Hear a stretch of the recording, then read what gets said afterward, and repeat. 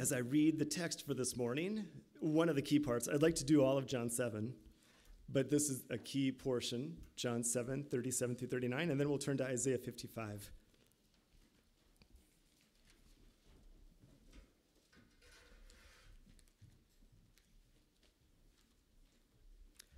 This is such a moving part of the text.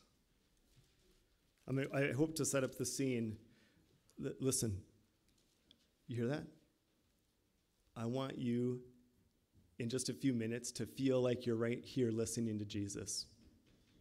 Like, like you're right in Jerusalem. Everything that's going on around. It says this, the word of God, John 7 37. On the last day, that great day of the feast, Jesus stood and he cried out, saying, If anyone thirsts, let him come to me and drink. He who believes in me, as the scriptures has said, out of his heart will flow rivers of living water. But this he spoke concerning the Spirit whom those believing in him would receive. For the Holy Spirit was not yet given because Jesus was not yet glorified. And then over to Isaiah 55. Listen to this same invitation from the prophet Isaiah. It's God speaking through the prophet. Ho! I like that. Ho! Everyone who thirsts, come to the waters. And you who have no money, Come, buy and eat. Yes, come, buy wine and milk without money and without price. Why do you spend money for what is not bread, and your wages for what does not satisfy? Listen carefully to me and eat what is good, and let your soul delight itself in abundance. Incline your ear and come to me. Hear, and your soul shall live and I will make an everlasting covenant with you, the sure mercies of David. Father, thank you for this text of Scripture. It is powerful. You are making an invitation to us right now. You are promising that you will satisfy our every desire through Christ. Our deepest need, our the aches and pains of our heart, satisfied and provided for by Almighty God, Jesus Christ. And Father, we spend much of our life buying things which will not satisfy, thirsting and finding drink that does not satisfy, when really coming to you, our greatest need is our greatest and ultimate satisfaction. Help us, Father, to understand John 7 and the opposition, the unbelief, the rebellion, the hard heartedness against our, our precious Savior. And may we not align ourselves with those individuals, but may we, with soft and tender hearts, come to Christ for everything. We thank you for the gospel. We are in awe of the Almighty Savior, Jesus Christ. To him be the glory now and forever. And all God's people said, Amen. Those in junior church, you're invited to go downstairs as we prepare our lesson up here. You are going to have a wonderful time downstairs. John chapter 7.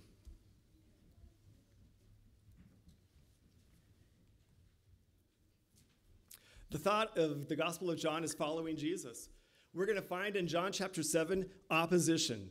Like, not made, uh, we're talking major opposition against our Savior. People who are willful and deliberate and opposed to everything the Savior says and does.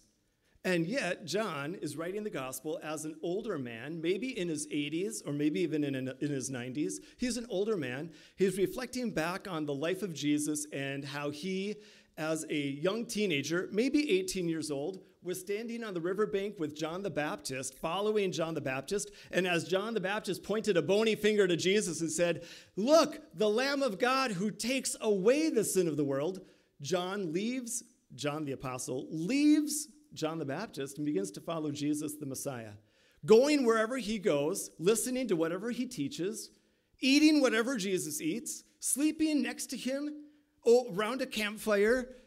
Um, amazing. And he is reflecting on three years of, of following Jesus. And I believe that he is writing this to challenge you and I as to who are we following. What are we doing with this one life that God has given us?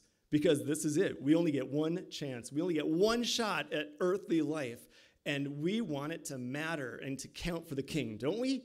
So this is this is great. We, we we've gotten all sorts of things from the Gospel of John. You. There we go. Thank you. We've gotten all sorts of things from the Gospel of John, haven't we? In John chapter 2, Jesus cleanses the whole Temple Mount, and everybody's concerned and, and alarmed, and he says, Hey, I will give you a sign. You te- I will tear this temple down and in three days raise it up. And they were thinking physical temple, and Jesus was thinking physical body. See how Jesus is talking about a whole different dimension and everybody else is thinking physical?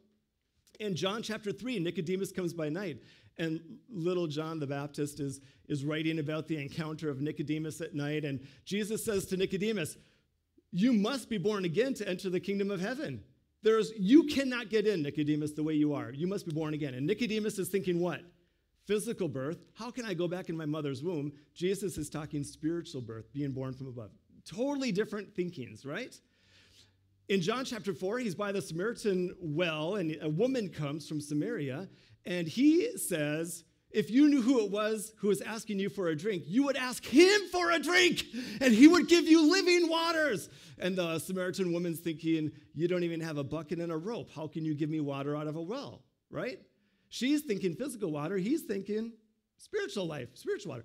John chapter 5, same thing the um, nobleman is you know his, his son is healed and then you have the lame man all sorts of healings great things going on everybody's thinking one thing and jesus is speaking of another. In john chapter 6 jesus is talking about bread bread from heaven.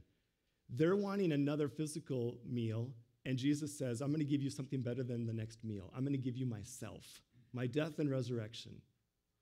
And just like god gave manna in the wilderness so I now am going to meet every spiritual need, everything you need for all eternal life, both physical and spiritual. He he's made that promise.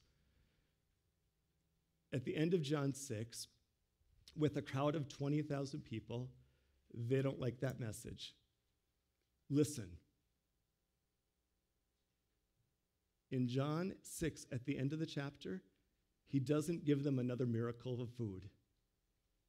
Why were, the, why were 20,000 people gathered around Jesus? They wanted one more meal. They wanted one more taste of bread and butter. And Jesus says, I'm not going to give you the bread and butter. I'm going to give you myself. You guys, that whole crowd left Jesus. They left following Jesus. And now he's got the 12 and maybe a few others. And he looks at them and he says, Do you also want to go away? Are you, are you going to turn from me as well? And Peter speaks up and says, where would we go, Jesus? You have the words of eternal life. We're here. We're here with you. We're not leaving. Can I say something? I would say most people, even listening to this message or in this room, maybe by the end of your life, at your last breath, will not be serving Jesus.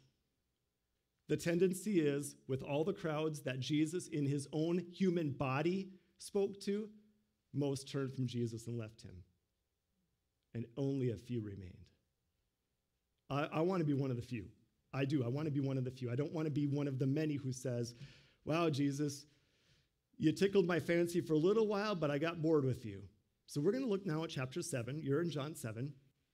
The theme is this opposition is beginning to mount against Jesus. He is six months away from crucifixion.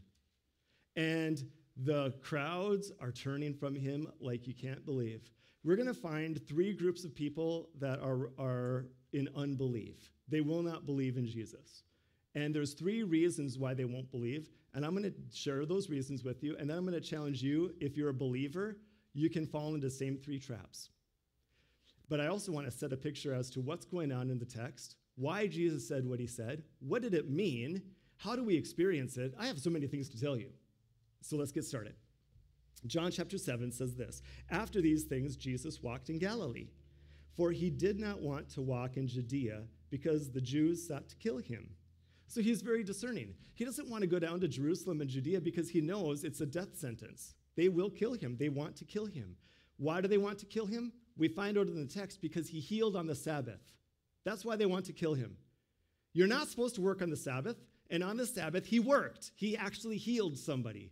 He healed a man who was lame and paralyzed at the pools of Bethesda, remember in John chapter 5. So here it is. It's in the fall. It's during the Feast of Tabernacles. The Bible says in verse 2 Now the Jews' Feast of Tabernacles was at hand. In John 6, it was the springtime. Now six months have passed. It's September, October, and the following spring, Jesus will be hanging on the cross for our sins. So it's the Feast of Tabernacles at hand. Let me tell you about it. All right, can I put you back in Jerusalem? Check this out. Feast of Tabernacles was the conclusion of the year's feast. There were seven feasts that God had set up for Israel. These were times that God was going to remind them of their past and point them to the future. We have many holidays. July 4th, 4th of July, everybody. We look back to what? 1776 in the Declaration, right? Of independence. We, have, we, we don't have anything to look forward to except Christ, but as a nation, we, all of our holidays look to the past. Memorial Day, we look to the past. Um, Thanksgiving, we look to the past, the pilgrims and the provision, right? But, but for Israel, the seven feasts look to the past. It's something God did as He delivered and provided, but they point to something that is fantastic in the future. And the Feast of Tabernacles was one of the greatest, and it was the conclusion to the whole year. It was a feast of eating, rejoicing, and remembering. What did they remember? They remembered, whoops, let's go back. They remembered this scene right here. This is manna in the wilderness. They remember how in Exodus 16, they were hungry and God provided manna, coriander seed, to land on all the vegetation. And then it was, they would scoop it off and put it into a bowl. And for 38 years, God fed them every single meal. And on Saturday, on Friday, they got two. So on Saturday, they didn't have to collect any. Isn't that amazing? Do you know how much food that is for two to three million people? Every single day. Super One bread store just flew all over the place, and they're just scraping it in and eating it day after day. God is feeding us every single day. So, the Feast of Tabernacles, they celebrated and they remembered God gave us he- bread from heaven. Not only that, but do you remember the scene when they were without water and they complained against Moses? And then God said to Moses, listen, in Exodus 17, God said, I will stand on the rock. God said this. So Jesus is standing on the rock because God said, I will stand on the rock. And Moses, you strike the rock. Wait a minute. If Jesus and Moses is to strike it, maybe who is Moses striking? Jesus. If he's standing on the rock, maybe he got his toes, or maybe he got it. Right? And what happened? Water poured out of the rock. Not just a trickle, not just a little river, enough water to supply the needs of two to three million people plus all of their livestock. Do you know what kind of flow came out of that water, that rock, as Moses struck it? This, I think, pales in comparison. In the dry, dusty desert, from a, a solid rock comes forth a gigantic flowing river to satisfy the needs, the physical needs of the people. Bread and water is what they needed to live. God also gave them light. He says in Exodus 33, verse 4, or verse 14, God says, I will be the, your presence. I will be with you the entire journey, and I will give you rest. And God came as a pillar of fire and as a cloud by day because we need three things to survive light, bread, and water. Jesus provided all of those in the wilderness for all of those 40 years, really 38 years after Mount Sinai. Make sense? So the Feast of Tabernacles was this big remembrance, this big celebration. It took place in Jerusalem. God said, You must go to Jerusalem. All Jewish men must go to Jerusalem to celebrate this feast. Here's a little picture of Jerusalem. They have this model in Jerusalem, and we'll go to it. Um, it is at the Jerusalem Israel Museum, and behind the museum is this thing we get to walk around.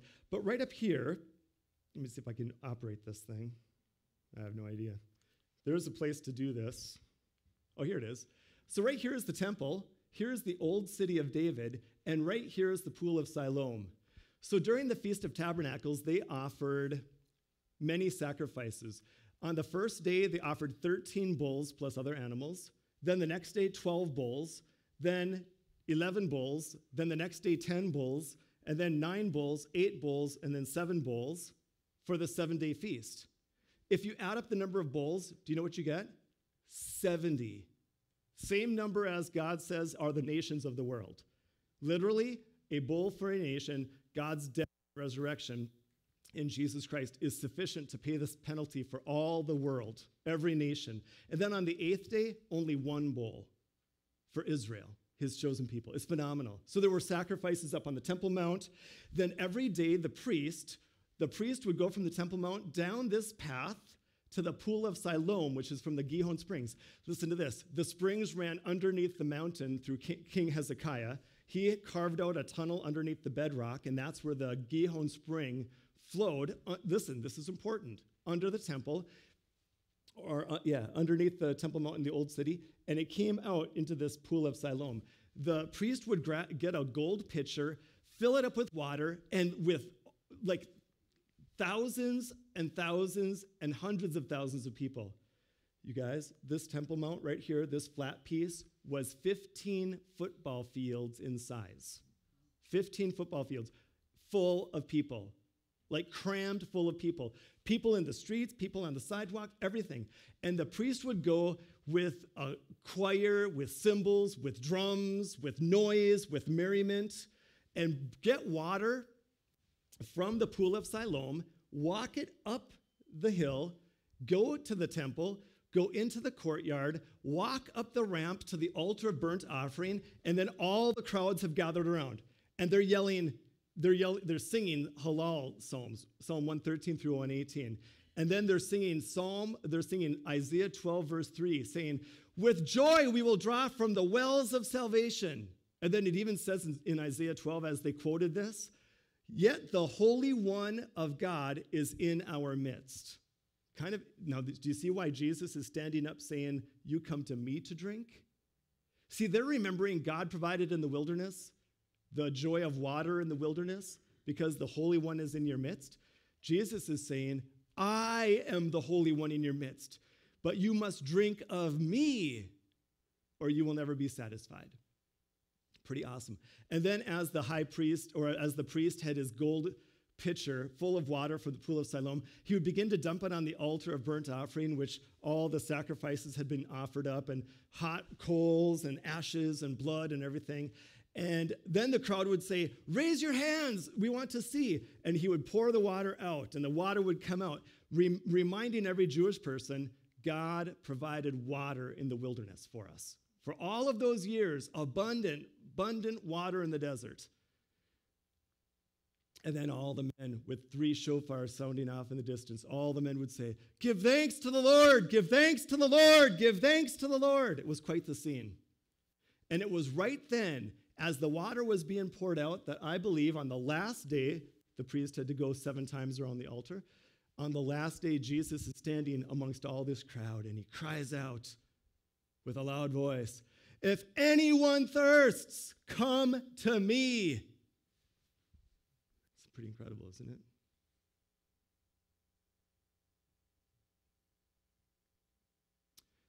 All week, you spent time and energy and money satisfying yourself.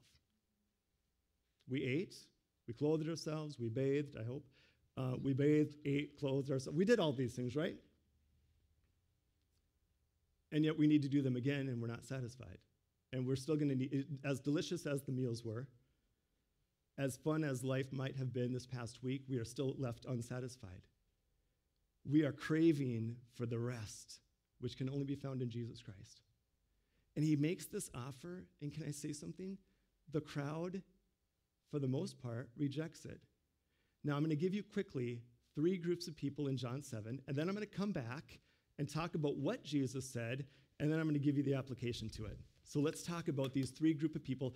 Why would three groups of people listen to Jesus' voice, hear him, see him, and not believe? The first reason is because of familiarity. Just familiarity with spiritual things. Look at John chapter 7 quickly, verse 3.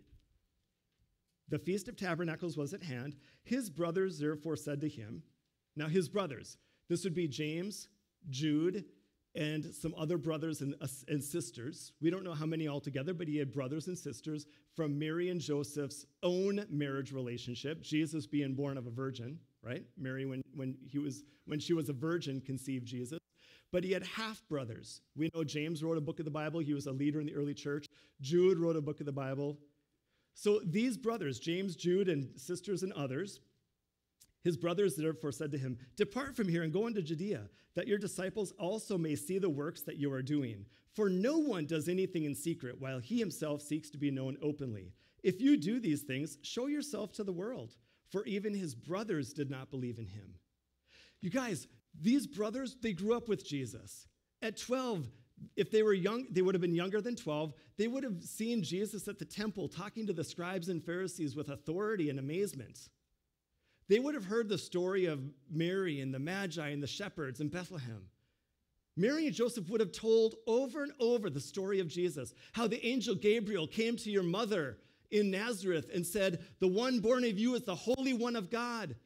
But Jesus was born of a virgin. Your mom was a virgin when the baby was born. But you, Joseph's, do you see how the, the brothers would have grown up around Jesus? They would have grown up, they would have listened, they would have heard, they would have seen. They would have heard about the wedding in Cana, the water into wine. They would have heard about the nobleman's son. They would have heard, they would have heard about the man who was paralyzed at the pool of Bethesda. But they were so familiar with these spiritual things that their heart was hard. Sometimes people grow up in church, they go to church, they do this, they do that, they do this, they do that, and they are so familiar with spiritual things, but they have no heart. Their heart has never been captured by the grace of God. They have literally have no awe for God because they've been around it their whole time. I was saved when I was 26, and it was awesome. It was a Friday night, and I, I so clearly remember when I trusted in Christ, honestly, it was like my eyes were opened, a lightning bolt, and I was like, I get it. It is the most awesome, spectacular truth, and, and that has not left in, thir- in 25 years. It has not left in 20, almost six years now. But many, many people just become familiar with spiritual things. They're around spiritual people, they're around the Bible, they go to church often, they sing the songs, they do it over and over and over and over and over and over until finally they are dull and hard hearted and they don't even care. Do I have to sing one more song about Jesus? Do I honestly have to go to church one more time? Oh, you got to be kidding. More prayer, another sermon. And they become so hardened and calloused because they have just become familiar with holy, awesome truth. It can happen to any one of us. It happened to the brothers of Jesus. They would not believe in him until after the resurrection. Where is your heart at? Are you so used to the gospel that you've lost the awe of it? I would say do this. I would say take a walk. Take a walk in the woods and really look. Look at things, see things. Be amazed at how God nourishes a tree with roots and then how he uses that in the Bible. Look, look at the sun and, and realize Jesus is the sun of righteousness with healing in his wings. Well, don't look at the sun, look at the sunrise. Don't get blind. Do you see what I'm saying? But don't ever lose the awe of Christ. When we're flying around, we were high above the clouds. I mean, I would just look at the clouds and I'd be like, wow, God, you are awesome. This is nothing to you, God. We're, we're in Port au Prince where there's some 2 million people and there's people driving and walking and doing this and that, and God knows everyone. He knows every thought. He knows what they're going to do. And I'm just like, wow, thank you, God. That's amazing. And then I go to the cross and I picture Jesus Christ hanging on the cross and whatever that experience was like for him how all my sin was paid in his body, and then I almost begin to tremble and I almost begin to cry. We're up in a voodoo temple, a former temple of voodooism in the mountain of there north, uh, south of Port-au-Prince, and uh, a man shares his testimony. He's a young guy. I don't know how old, but he's a young guy. He was, as I told you, high up in the rankings of voodoo priestism and all of that. And three months ago, he is gloriously saved. And to hear him stand in a former voodoo temple and talk about Jesus Christ and salvation, it was like the most incredible thing. Do not ever lose your awe of God. Do not lose your awe of salvation. Do not lose your awe of the cross just because you've heard it a thousand times. Anything that gets repeated over and over and over and over again tends to lose its beauty. Don't lose, don't ever let it lose its beauty. So, one reason people don't believe in Jesus, they're so familiar with it all. They've heard it a thousand times, but they've never believed with their heart. they they've never come to the understanding of here's my desperate, desperate spiritual need. I am a sinner, lost and condemned, and Jesus rescued me and saved me through his death and resurrection. And then as a believer, Hebrews 3:10 in the same context as the wilderness wanderings, beware brethren lest there be in any of you an evil heart of unbelief in departing from the living God. But exhort one another daily as it is today. See, do you see it? We can fall into the same trap as Israel, you guys. We really can. We can become so familiar with the Bible and so used to doing this over and over that it loses its freshness and its edge and its joy and its beauty. So that's the first group. But look at there's a second group of people that are also hearing Jesus' words, but they don't believe. It begins in verse 10. But when his brothers had gone up, then he also went up to the feast, not openly, but as it were in secret. Then the Jews sought him at the feast. See, they're curious. They said, Where is he? Where's Jesus? Where's Jesus? And there was much complaining among the people concerning him. Some said, He is good. Others said, No, on the contrary, he deceives the people. However, no one spoke openly of him for fear of the Jews. Here's another reason why people have unbelief when it comes to Jesus. Not only are they so familiar with spiritual things that loses its edge and freshness, but secondly, they're fearful. Not only familiar, but secondly, fearful. People are, fe- listen, people are fearful about what they're going to lose. If I, if I trust Christ, I'm going to lose something in the whole deal. I'm not going to get my own life, my own agenda, my own pleasures. I'm not going to be able to do what I want when I want. I'm going to have to start going to church. I'm going to have to start doing this. And, and you know what? I'm afraid of losing that which I love, which happens to be idolatry.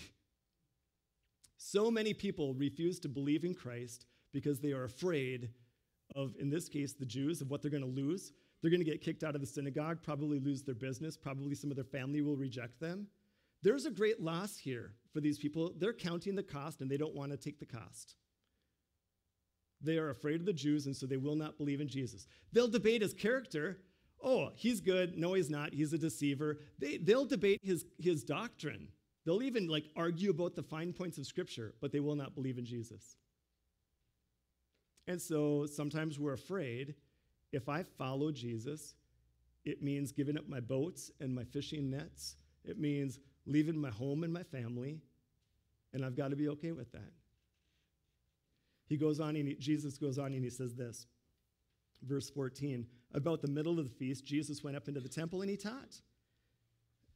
Remember, the temple is about 15 football fields in size, right up here. Jesus never actually went, I've got another picture. Jesus never actually went into the temple. This was forbidden for even Jesus, the Son of God, to go into. But this right here would have been packed full of people, right here. All of this packed full of people.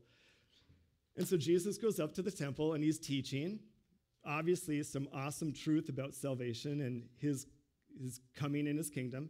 And the Jews marveled, saying, How does this man know letters, having never studied? Jesus answered them and said, My doctrine is not mine, but his who sent me. If anyone wills to do his will, he shall know concerning the doctrine whether it is from God or whether I speak on my own authority. He who speaks from himself, if you're speaking from yourself, you're seeking your own glory. But he, Jesus says, he who seeks the glory of the one who sent him is true, and no unrighteousness is in him. Jesus says, I have been sent from God the Father, and I am without sin. Everything I say glorifies my Father, not me. See, he's so different from you and I. Every time we speak, we want to make ourselves look good, don't we? We want to make sure we look good and sound good and impress people. And Jesus says, I have no need for that. My only goal is to glorify my Father who sent me. He goes on, he says, uh, verse 19, Did not Moses give you the law? Yet none of you keeps the law. Why do you seek to kill me? The people answered and said, you have a demon? Who is seeking to kill you? Jesus answered, and see, when we do not believe Jesus, when we don't trust his words and follow and obey him, really, we get into all sorts of scary areas. When we're not following Jesus, what does that obviously mean? We are following something else.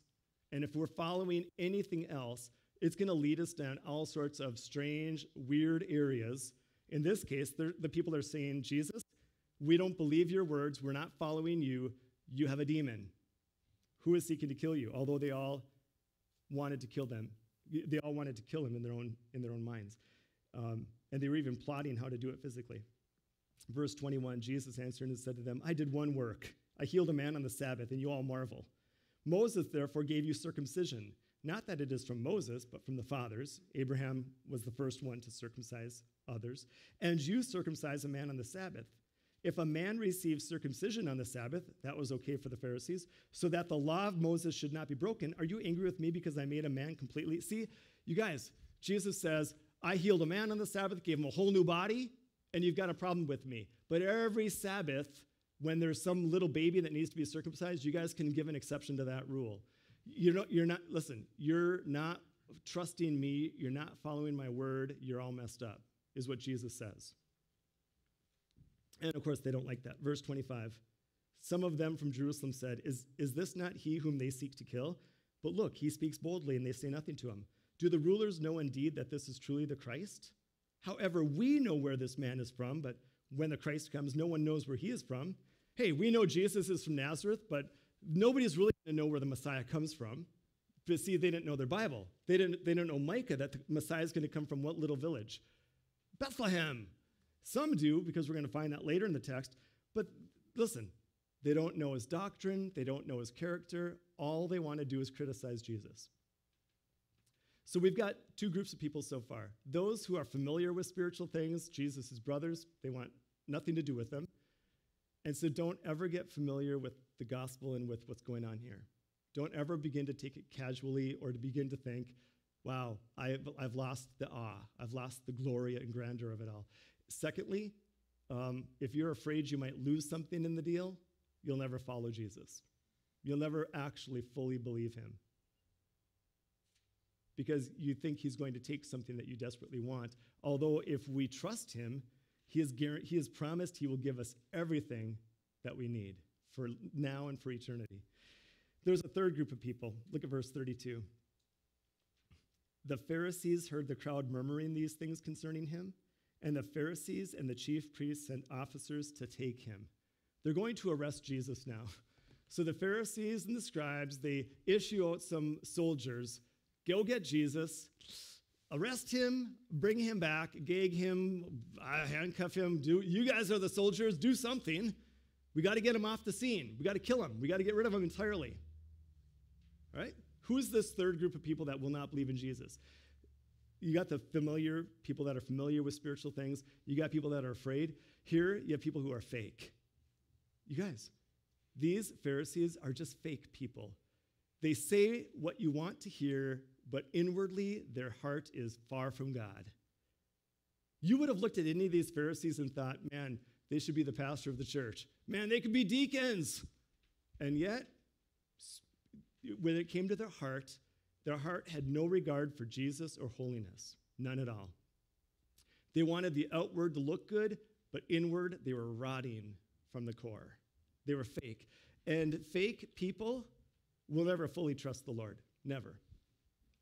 So here, the Pharisees want to arrest Jesus. Here's what Jesus says in verse 33 Jesus said to them, I, I shall be with you a little while longer, and then I go to him, that's the Father, who sent me. You know what Jesus is? This remember, this is September or October. Jesus is saying, I'm going to live on this earth a little longer, and then I'm going to go back to the Father who sent me. Six months from now, he's going to be dead and risen from the dead. So Jesus is giving a little prophecy about his death and resurrection. But the Jews, okay, remember how Jesus says one thing and he, he's talking spiritually, death and resurrection, payment for sin, and everybody is thinking physically in a whole different weird sense. Look at verse 35. Here's how they're saying. Then the Jews said among themselves, Where does he intend to go that we shall not find him. They're, they're not thinking death on a cross. They're thinking, hey, is Jesus going to a different country? Hey, wait a minute. Did he get a passport or did he lose his passport? What did he, wait, now how does Jesus get, where's he, where is he going that we cannot follow him?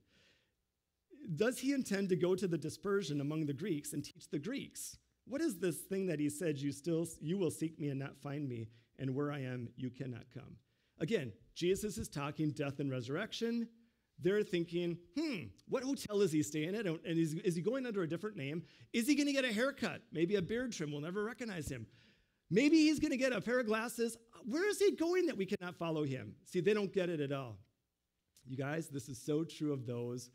And, and my question as we end in just a few minutes, my question is this Why such unbelief when Jesus is physically standing and speaking to them? Why? Because if we can figure that out, then I think we've got something going for us. And I think the Word of God in this text tells us what's going on. And we'll get there in a minute. But, but let's go. Let's keep going. Verse 37 On the last day, that great day of the feast, Jesus stood and cried out. And he said, If anyone thirsts, if anybody, man, woman, rich man, poor man, it doesn't matter. If anyone thirsts, let him come to me. See, that's the invitation. Come to me. Come to a person, Jesus Christ, and drink. He would have been saying this as the priest would have been pouring out that water, and everybody would have known what he was saying. Because, oh, there's so many great texts. And let me just give you a few real quick. Isaiah 44 says this I will pour out water in the desert, enough to fill rivers and rivers in the desert. And then God says in Isaiah 44, and in the same way, I will pour my spirit upon all my people. So as he pours water in the desert, God says, I will also pour my spirit out upon all people. It's beautiful. In Nehemiah chapter 9, in the text, Nehemiah is celebrating the Feast of Tabernacles with all the nation, and they go to prayer. And as they pray, they say, God, we remember how you gave us bread in the wilderness and water in the wilderness. And you also gave us your good spirit to instruct us. So you have bread, water, and the spirit poured upon the people in the desert. And now the Feast of Tabernacles points to a future day when God doesn't pour physical water on the nation, but the Holy Spirit, as many, many, as all Israel is saved. So it's all about spiritual salvation. So Jesus says, You are so worried about the physical. All you care about is the physical. Your next meal, your next thing, your next thing, your next thing, but I'm going to satisfy you with something far deeper. Your greatest need is spiritual. And if I can if you will trust me and I can supply your spiritual need, then everything else is going to be provided. True? He will. He'll provide for us physically. It's not a prosperity gospel. He simply will provide for us. We're his children. Will not any good father give to his children in need? Of course. So he cries out, He who believes in me, this is what he means to come to him and to drink, means to believe in him. He who believes, who places their trust in me, in his death and resurrection, as the scripture has said, out of his heart will flow rivers of living water. I don't want to get too far off here. Hey, little Bible history question. In the Garden of Eden, there was a river. So the Bible says one river came out of the Garden of Eden and it split into what? Four rivers. See, out of one river, the dwelling place, see, where God dwells in the Garden of Eden with Adam and Eve, out of one river it parted and it, there were four rivers that watered all of the land. Living waters, I believe. Rich living waters that produce the best of vegetation.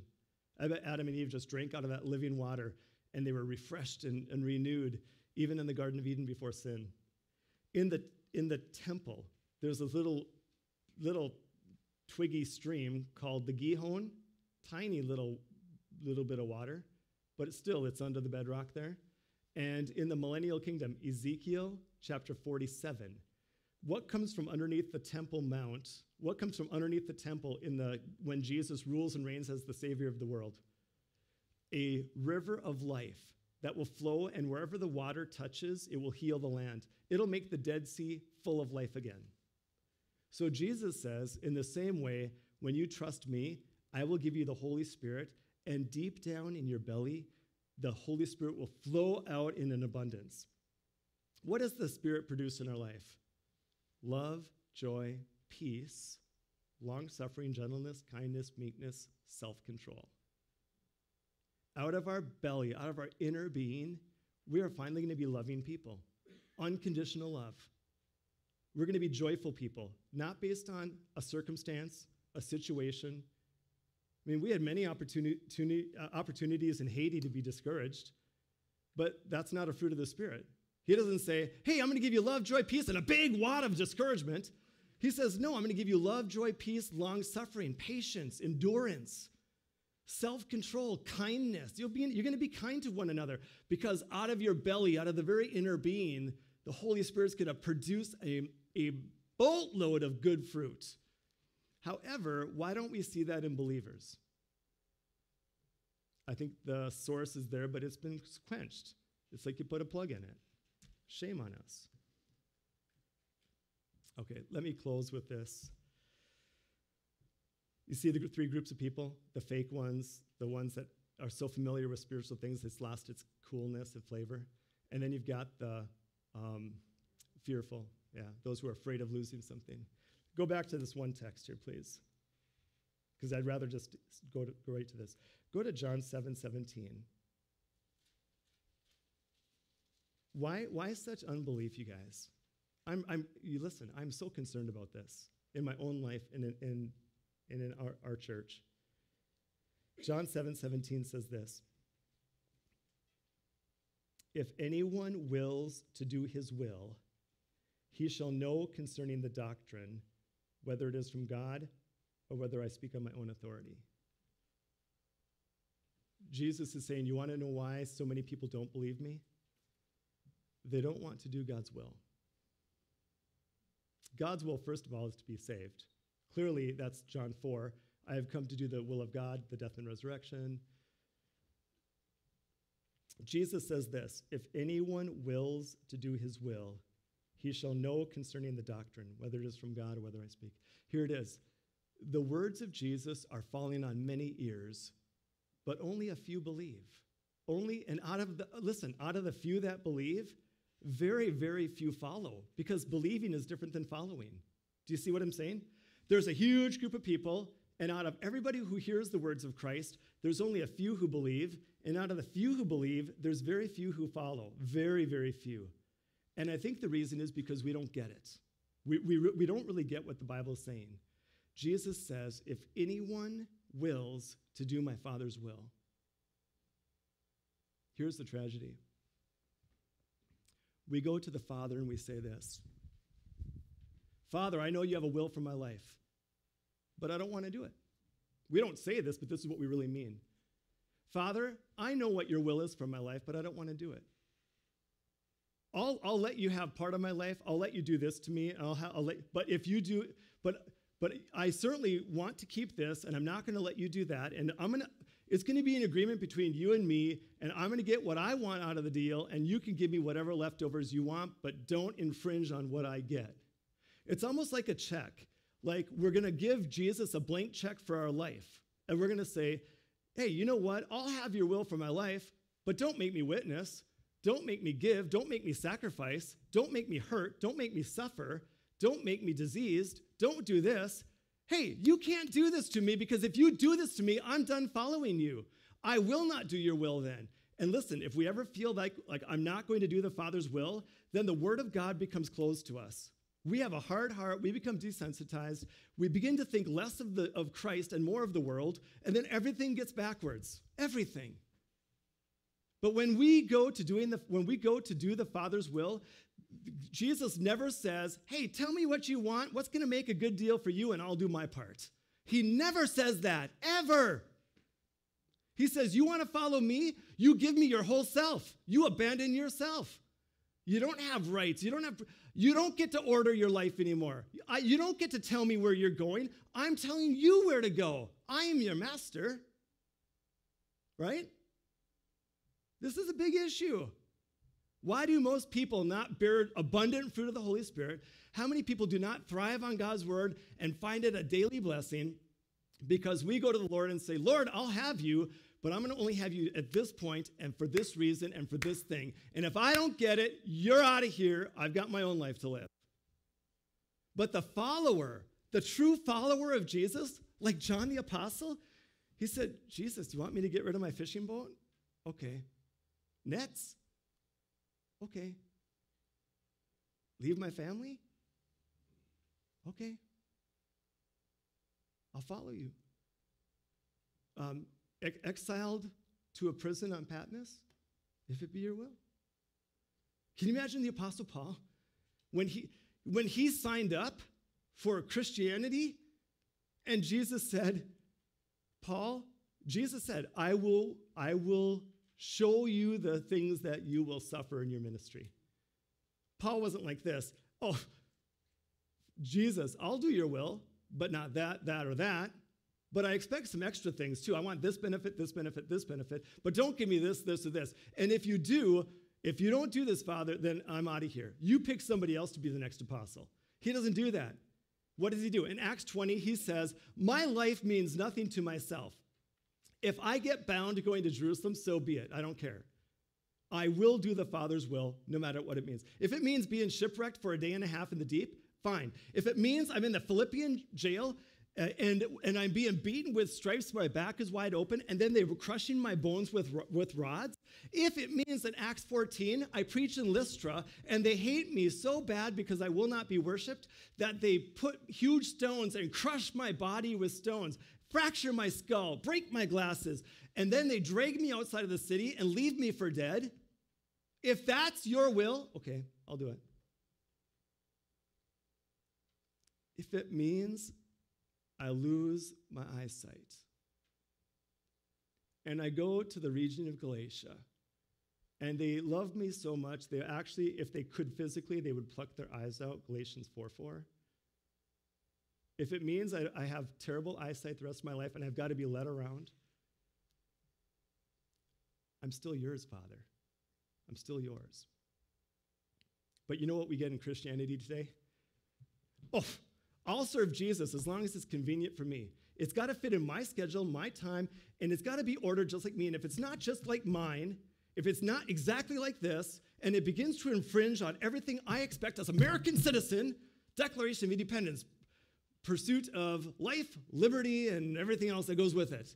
If it doesn't go into that, then forget it, Jesus. I'm not, I'm not yours. So you've got Jesus' brothers saying, Forget it, Jesus. I'm not in. You've got the fearful that say, hey, I'm going to lose my place in the synagogue. Forget it, Jesus, I'm not in. I'm going to lose my business. Forget it, Jesus, I'm not in. You got the fake spiritual people that are like, but I don't need you, Jesus. I already have religion. I'm already good. I've already done it all. Jesus says, if anyone wills to do my Father's will, then he will know my doctrine. He will know me. And the Spirit of God will be in his belly like rivers of living water bursting forth. And that's the kind of life we want. Do you agree? I wish I could go into other texts. There's so many awesome ones that deal with this. I'm closing my Bible. I'm done. But uh, just kidding. Revelation 22, last thing. In Revelation 22, you guys, right at the end of the book of all the Bible here, um, there's the water again, gushing water from the rock. Um, hey, in Revelation 22, the end of the, the Bible, the entire Bible, it says this The Spirit of God says, Come. And the bride, who's the bride? The church, says, Come. Interesting that we're going to give the same invitation that Jesus gave at the Feast of Tabernacles we're going to give it to the whole world in the millennial kingdom. The Spirit of God's going to say, Come to the Savior. And then you and I, in glorified bodies, we're going to be like, Come to the Savior. And then it goes on and says, And whoever will, whoever will, drink of the water freely. It's no, drink of the water of life freely. It's a glorious invitation. And yet, you know what? Most people don't want it. Most people don't want the water of life freely. They don't want to give Jesus a blank check saying, Hey, I'll do your will no matter what. I will follow you no matter where it takes me. Let's be those kinds of men and women. Thank you, Father, for this text. Thank you for Jesus, his death and resurrection. This book is calling us to follow Jesus. And we see in John 7 the turning, really in John 6, a huge turning point. The crowds are no longer running after Jesus for the latest miracle, they're offended by the message of discipleship. They're offended that Jesus is saying it's him alone. He doesn't, he doesn't say him plus any other agenda or plan. It's him alone. He alone has the op- option or opportunity to, to dictate our life. And I fear, fa- Father, that American Christianity is, is weak because we want Jesus, we want, we want him to be a part of our life, but we don't want him to be our life. That's a big difference. May you raise up in this church men and women who are followers of Christ, who will forsake sin, despise sin, hate sin, choose to live godly, holy lives as ambassadors of Christ. Father, may, may we remember that salvation is a free gift, bought without price, bought without money. It's abundance. It's awesome. It's, it is the only thing that will satisfy. We will work this week to satisfy different needs in our life. And even if we spent a million years with all the money in the world and every pleasure possible, and we were to fulfill those day after day for a million years, we would still end up empty. For the only thing that will satisfy is Christ. Thank you for this text to remind us not to be men and women of unbelief. In Jesus' name we pray. Amen. For an invitation, we'd like to have you think about this uh, text. And I would say, uh, as we, as Melissa sings through it, and then you join her on the last part of it, um, just take into mind the groups in John 7, the invitation of coming to Jesus, drink of him freely and fully, and receive the gift of eternal life and the power and blessing of the Holy Spirit. I don't know where you are at today, but I know that in my own heart, there are things that I cling to and that I am not ready to abandon everything. And yet I think God is calling us and He's warning us of what's out there, and He wants us to come to Him. Oh God of mine, I'll have no idols. Oh God of mine, come lead the way. Oh God of mine, I'm greatly humbled. This sinner's heart you came to save.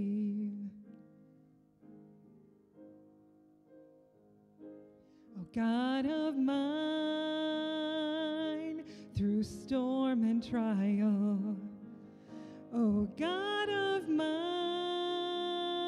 through death and grave. Oh God of mine,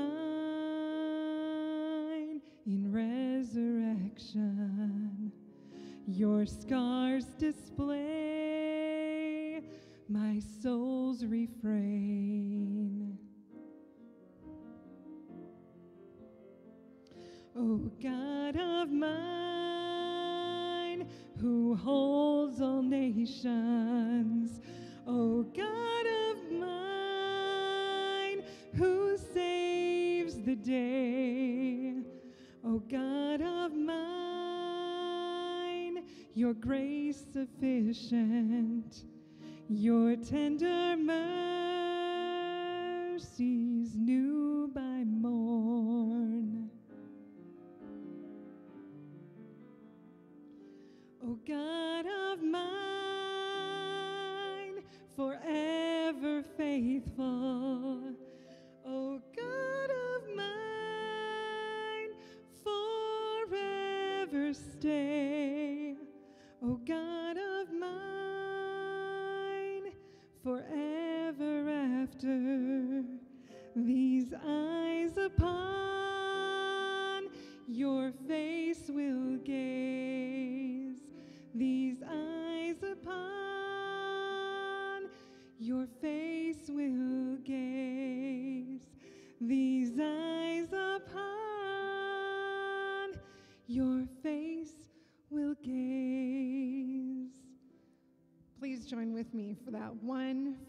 verse again.